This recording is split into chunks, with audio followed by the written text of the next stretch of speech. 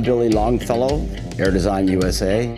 Let's talk a little bit about this year. It's uh, we won another design award from Ford, and actually I'm very proud because this is my 20th uh, design award. So come away with another design award is just the cream of the crop. It's just a fantastic accolade to have. I don't take them for granted because you're only good as your last year. So every year starts off as you're nobody.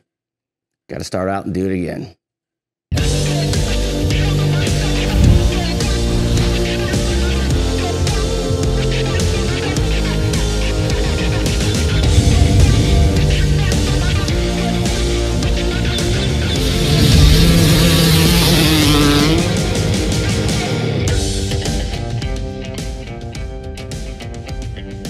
What SEMA is to me, there's a handful of designers that Ford picks from all over the United States, so it's kind of like a competition.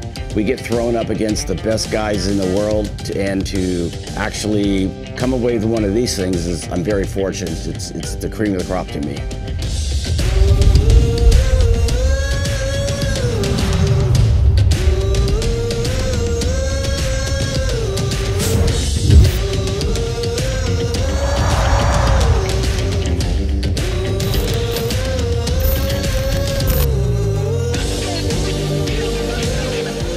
You know, when Ford gives you such a, a beautiful canvas to start with, it's, it's um, you look at it and like, what can I do to make it look better? Because myself being a designer, one of the things we want to do is we want to accent what Ford's done on this Ranger. We want to add on to it. We don't want to take away their look and what they've done to it because it's a beautiful looking truck. It's a little bit smaller, but it's very aggressive looking. So when you look at this truck, it has this high belt line and it, so what that does, it makes the truck look a little bit more muscular as the fenders bow out. And that's what I like is because it's a beautiful looking truck and it's, and it's, a great, like I said, open canvas for, for us to work on.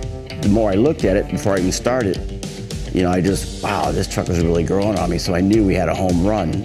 So once I knew that we put all our parts on it, our air design parts, the truck was only going to look better.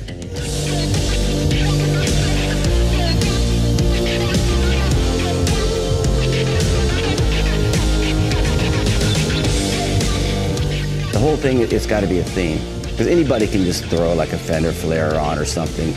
But the way that we do our designs, and it's kind of a, it, it's a concept. I'd be proud to drive this thing. You know, it's just going to be a tremendous opportunity for air design and Ford this year. So just go to your local Ford dealers and you can buy this thing first of the year.